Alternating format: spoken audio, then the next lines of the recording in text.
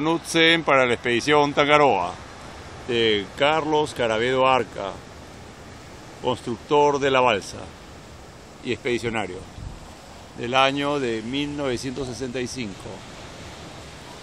Es así pues de que nos acercamos a la fecha en que la expedición Tangaroa partió hacia la Polinesia en su segundo tramo, ya que estamos acercándonos al día en que la balsa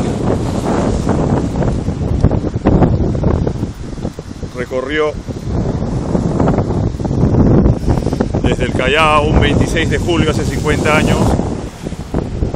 y desde las costas peruanas hasta vislumbrar a lo lejos ahora en octubre, hoy día 3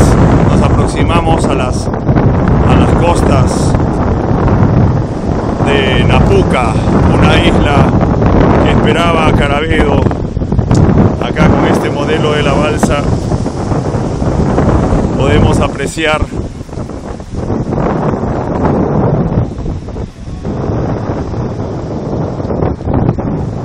Podemos apreciar cómo esta se sacudía con las olas y enrumbaba hacia su destino, esas islas del Pacífico, esas islas del Pacífico que venderían un poco caro su precio, como algún expedicionario como Eric de Bishop, habiendo partido Thor Heyerdahl y estrellado su Contiki en la isla de Raroya, en los arrecifes. Eric de Bishop habiendo perdido la vida en el océano y a la deriva, estrellado en la isla de Rakahanga, donde moriría. Y también tenemos a un William Willis que saliera entre ellos dos con sus Seven Sisters y llegara a Samoa. También un Edward Ingrid que lo intentara una y dos veces hasta que lo lograra yendo a la isla de Mataiba. Es así pues que balsas como esta que atravesaban el océano, ninguna contaba con guaras, pero la de Carabedo sí, sí contaría con esta este timón prehispánico, bendecida con, con esta la expedición Tangaroa, iluminaría a lo lejos la isla de Napuca y después, desde las Guaras, timón prehispánico, Carlos Carabedo se atrevería a atravesar el océano a cruzar sus aguas y vislumbrar un triunfo para los sudamericanos, para los peruanos, una expedición peruana, sudamericana, que le haría nombre igual que la noruega, francés, americana, francesa e inglesa y checoslovaca de un apátrida checo, concertista amigo de Carlos Carabedo. Es así que llegarían a un mar picado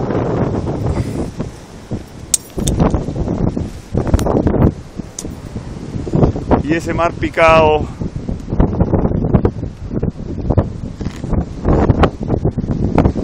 a muchos les cobraría temores, de no, temores de zozobra, temores de, de no lograr su objetivo. Es así que habiéndose planeado todo en Alcides Carrión, en el Óvalo Gutiérrez de Miraflores, Lima, Perú, traído los recursos de la Hacienda de Inquisidor y Pulido, construidos en Chicuito, Callao,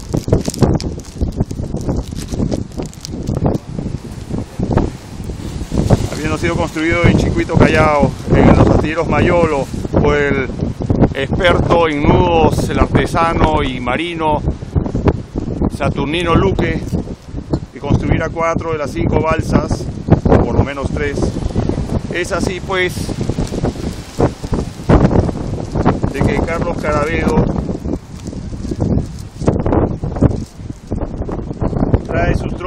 de la, de la selva de Quevedo, de la hacienda del señor Negrete, quien le recomendaría las, las árboles hembra por mayor soltabilidad, si bien por un costo más módico y por un tiempo de vida más corto de, estas, de estos troncos. Partiría con su radio OX Balsa, Mari, Balsa Tangaroa,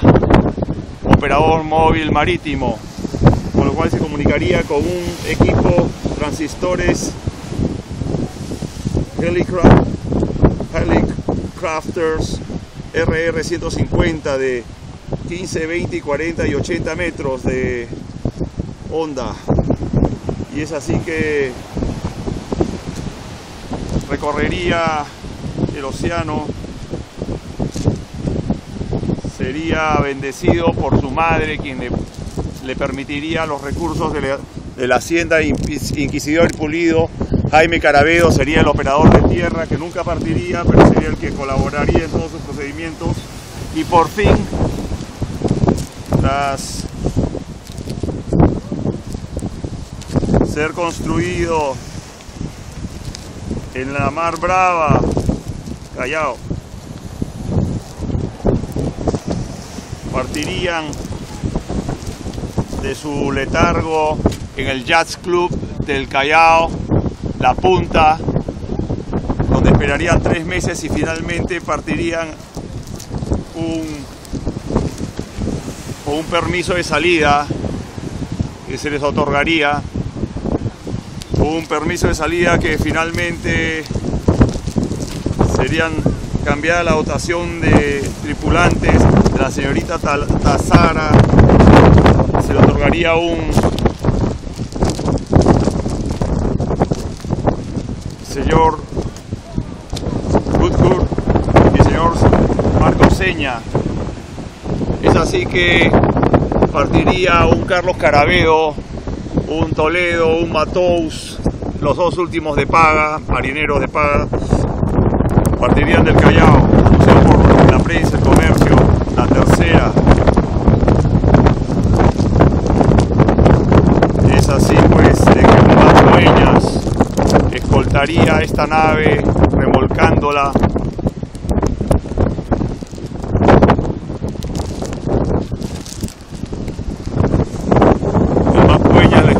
remolcándola a su posición de arranque como todas las naves que partían en abril, un 24 de abril, esta vez sería un 26 de julio para la expedición Tangaroa en su, en su posición mar adentro. Recorriendo paso a paso su destino y donde desde su puesto diferentes tomas que se apreciarían de la nave. Finalmente, arriesgando su vida sin tener conocimiento de su familia, si estaban vivos o no.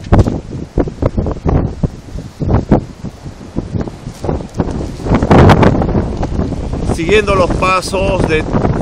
de antiguos navegantes del norte, usarían sus guaras que son estos timones largos que se ponen a los costados, siguiendo tal vez los pasos de un Nailab, de un Huiracocha, que, dioses que vinieron del mar, que tal vez como el dios Tangaroa era un ser vivo y que simplemente fuera un recuerdo lejano de historias antiguas, de un Tupac Yupanqui que conquistara el norte y finalmente ellos vislumbraran los peligros de, alta mar con las grandes olas, como podemos ver, gigantescas olas que peinarían el océano. Y finalmente, la expedición, tras un, tras un viaje épico desde el Callao hasta el medio del océano,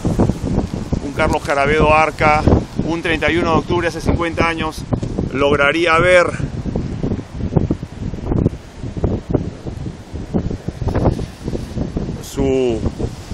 su, isla, la isla de Napuca. Todas estas islas eran huecas con una piscina interior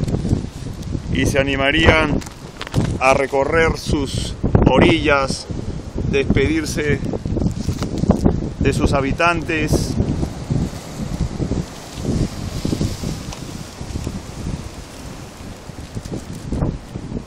que subirían a bordo, habitantes que saludarían a la expedición y que finalmente esto de Carlos Carabeo decidiera seguir su rumbo y arriesgar la vida un 16 de, de noviembre en Cahuije en la noche, donde casi mueren. Gracias a la, a timón prehispánico que lo vemos acá. Y finalmente, como lo hiciera Tupac Yupanqui y lo, comentara Sarmiento y otros escribas españoles,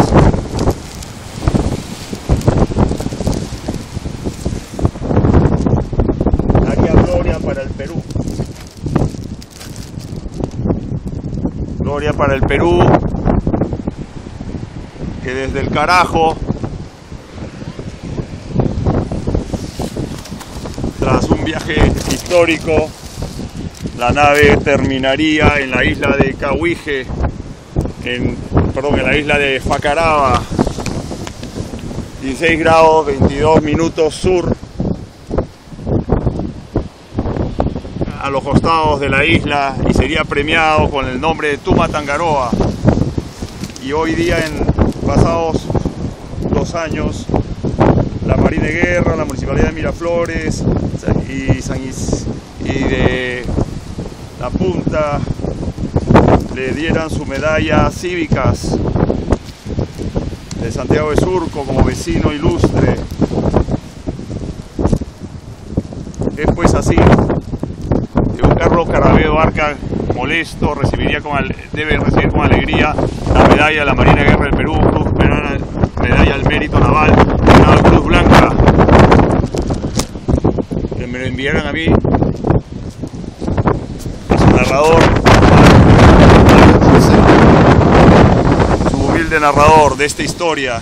de un gran hombre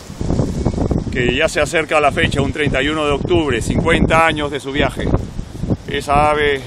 enfrentando las olas y el viento hace un presagio hacia los cielos, despidiéndose, nos despedimos de él, de Carlos Carabeo, y esperamos la fecha del 31 para celebrar todos los peruanos por, su, por la expedición peruana, hiciera el logro con el, con el sello de partida y el sello de llegada.